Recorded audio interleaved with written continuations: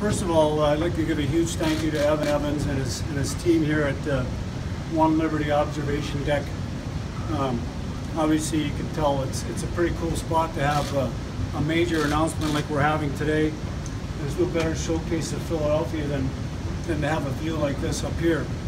Uh, I don't know how many of you can see in the background here off, off my right shoulder. Um, the uh, stadium complex area, the uh, beautiful Wells Fargo Center, home of the Flyers, which is today 20 years old.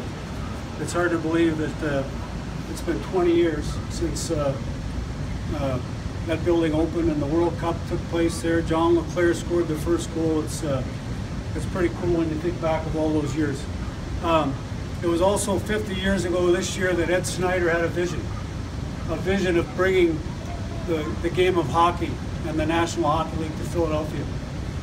And we think back on those 50 years and how incredible the journey has been and how we look forward to the next 50 years of incredible flyer hockey that's going to take place in the city of Philadelphia.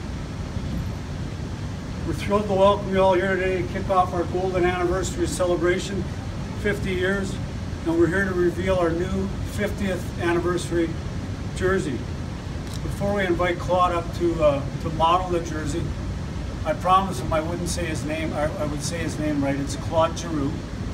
Uh, for those who don't get the joke, Bob Clarke was a general manager when we drafted Claude and he he forgot his name on the stage. It was uh, something that Claude's uh, lived with the years, and, and obviously Bob Clarke's uh, uh, has learned to live it down. But it was it was a pretty funny moment in time that we Claude and I laugh about, and even Bob laughs about it now. Uh, so before we invite Claude up, I just want to give you a, a, little hint on how the process went when we when we designed our 50th uh, anniversary jersey. We went through about 10 or 12 different prototypes. There's a lot of people involved on the management team. Uh, Mr. Snider was heavily involved right from the get-go. It was, it was finalized in December of 2015. And when Mr. Snider saw the final edition, he, he couldn't have been happier and gave us his, his, uh, his blessing to move forward. With that, I'd like to ask Claude to come up so we can, can model our jersey.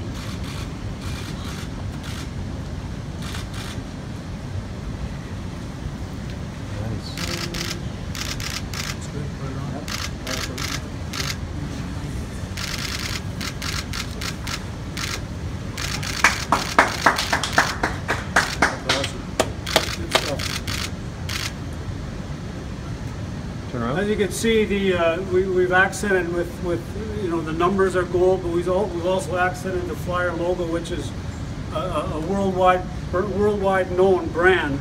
The Flyers logo we've accented in gold to, to emphasize our 50 years. Uh, we're celebrating 50 years this year.